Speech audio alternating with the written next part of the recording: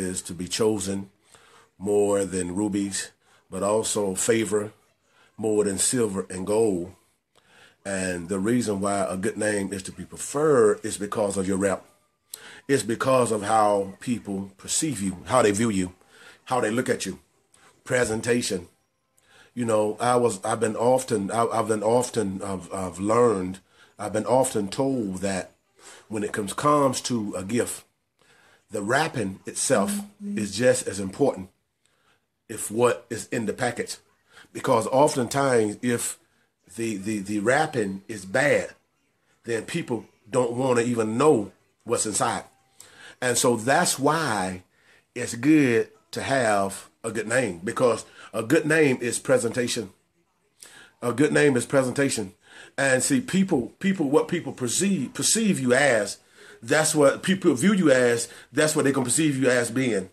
That's why with young folk, oftentimes young folk don't understand why they are treated a certain way. See, you, you, the thing that you show people will cause, will determine how people treat you.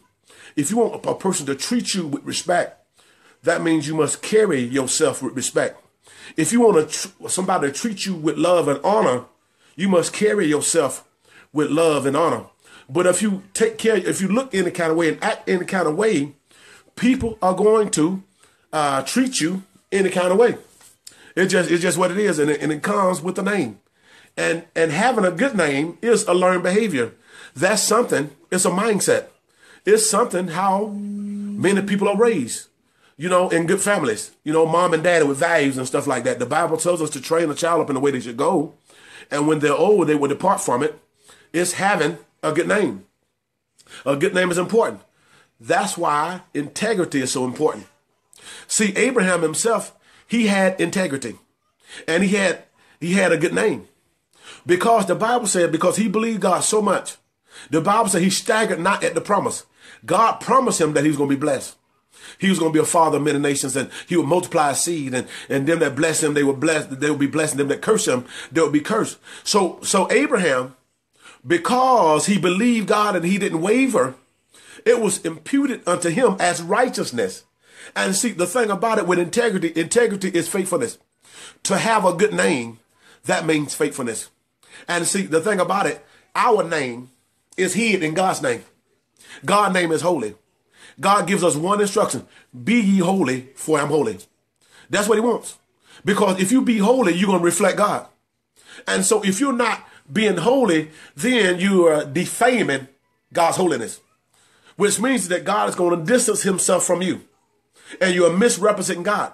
And our total purpose for being here is uh, to be an example is to reach the lost, is to uh, magnify God, to testify of what God can do. That's why the Bible said, oh, taste and see that the Lord is good. But your name is important. That's just like when the Bible says that when you vow a vow, pay it. Don't say something don't pay it. Look at Ananias and Sapphira. They lied to the apostles of old. They lied to them because they told them that they, they had sold, had sold their land and they gave them all what they sold from their land. But they lied and said, but they held some back. But because they lied to the man of God, what they didn't realize they was lying to the Holy Ghost. That's integrity. Be careful of your words because the Bible says that there's life and death in the power of your tongue. Be careful of your words. Be careful what you say because people are going to identify you based on what you say, what comes out your mouth. That's your package. That's the presentation. Your presentation of who you are, your, rep, your words represent who you are. Which means that if your words are raggedy and your words are bad, then it's going to represent you bad. It will. So be careful what comes out your mouth. Be careful of what you come out your, come out your mouth. Uh, be honest with people. Be real with people. Be real with people. You know, like I was saying earlier this morning, my spiritual father always told me that uh, when you're anointed, and if you use the anointing to misrepresent God for fleshly gain, to take advantage of people, to rape people spiritually, take their money, uh, uh, sex or whatever, then God run the risk of killing you. God will kill you. And I thought about that, and I, I thought about certain people. There are certain people, certain preachers. Over the years, they're great preachers. They're great preachers as far as talking. But what happened was that their name had became so bad because back in the 80s, in the 90s, the prophets had a bad name because the prophet would prophesy The prophet would preach, lay hands and all that. But the prophet would do two things. They would rape the people twice. They would take all the money and they would rape all the women and men. And so the prophets had a bad name, which means that a lot of ministries didn't even want to invite prophets in their church because prophets has become infamous. In other words, they became famous in a bad way. And say that's the root of the devil. Because the Bible says the devil says he comes as an angel light, but inwardly he's a divine wolf. But that's the, the meaning of the, tar- the, the parable of the wheat and the tare.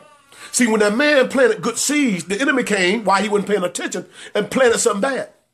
And the reason he planted something bad, he wanted to bring confusion. He wanted to bring division, but also the wicked one, he wanted to smother or destroy the thing that was good. That's just like with anything in life, with men, with women, with preachers, with whatever in life, they are good officers. They are good. But what happens, the adversary will call certain jokers certain knuckleheads to do things that's bad to make, make everybody think that all of them are bad. You know, some people, they've been in church and they had a preacher. Take advantage of them. They had a preacher. Become intimate with, have sex with them, whatever, uh, whatever they did.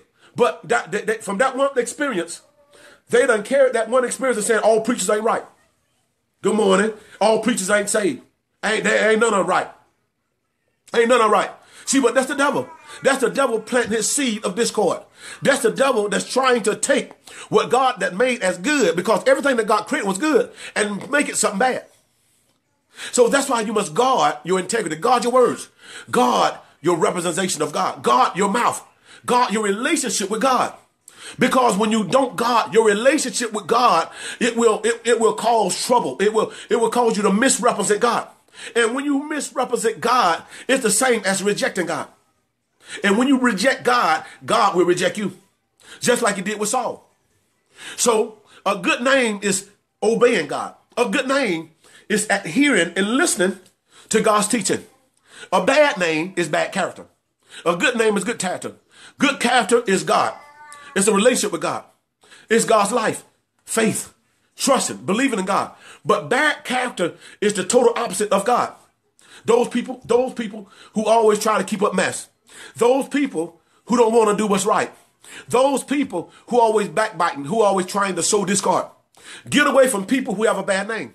Because when you have a bad name, there's an odor. With a bad name, there's an odor. There's an odor, just like jealousy. The Bible said jealousy is as cruelty as the grave. And see, see, jealousy is the same effect, is, is the very effect when a person die. Because when a person, person die over a period of time, there's going to come an odor. That's why they bury them deep under the ground.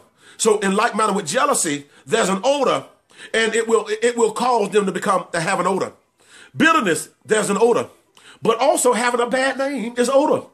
It's not good. It's like something that's good, food that's good. If it, that food is left out, it will become spoiled. Then what will happen is that you're going to throw it in the trash. It's useless. See, because when you have a bad name, you become useless. God can't use you with a bad name.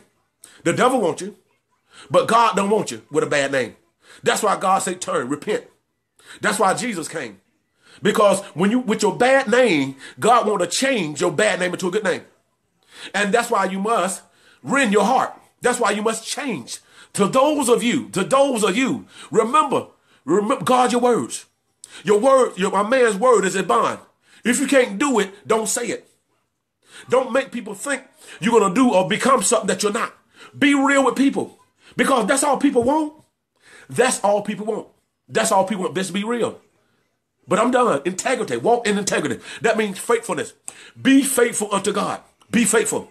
Be faithful in all things. That means to abstain. That means to, when you faithful to God, that means you're going to listen to God. You're going to obey God. That means you're going to do what God is calling you to do. That means to act right. Treat people right. Live right. Live with righteousness. And live with respect. respect. Live with dignity. Live with pride. That's having integrity. That's representing God. That's being faithful. And in you being faithful, God is going to reward you. It doesn't matter what you're going through. It doesn't matter what you're dealing with.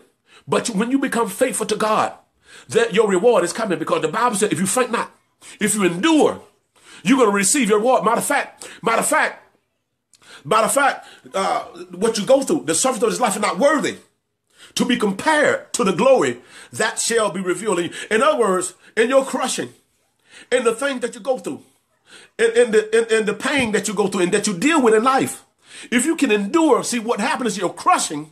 What it's doing is causing an aroma to come out of you. That aroma is integrity. That aroma is God's. That aroma is a good name. That aroma is righteousness. That aroma is holiness.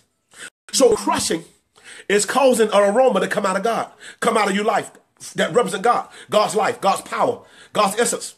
So the more you suffer with God, the more you're being knitted to God, the more you're becoming like his, in his likeness.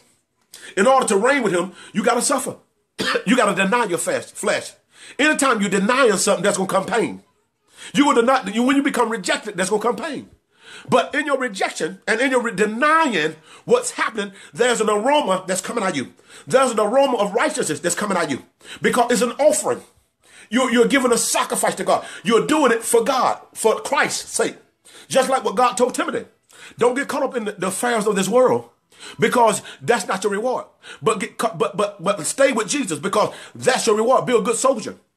Be a good soldier as as a good soldier as the Lord as a, a soldier of the Lord and Savior Jesus Christ. And in the end, you will receive your reward. And so don't get caught up in the affairs of this world because we're in this world, but we're not of this world. We're not. We belong to God. Which means that if we belong to God, that means we must act like God. We must become, reflect, become his imprint, become his likeness. And that's to walk in integrity. That's to walk, that's to talk with respect. That's to be real. Be honest with people.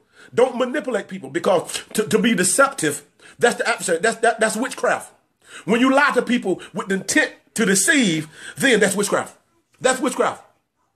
And sweet and bitter water cannot flow from the same fountain. And the thing about it, you must understand, you must understand how you treat people and what you do to people will determine what's come back to you. Do you hear me? Walk in integrity. Be honest. Love God. Be right. Be righteous. Be your brother and your sister keeper. And walk in integrity. Walk in integrity and keep your words. Keep your words. If you if you promise something, do it. Do it. Because God is watching. Don't be like Ananias and Sapphira. Hide back a portion and lie. And then see the thing about it, you have to be careful who you lie to. Because sometimes you think you're lying to a man, but you're lying to the Holy Ghost.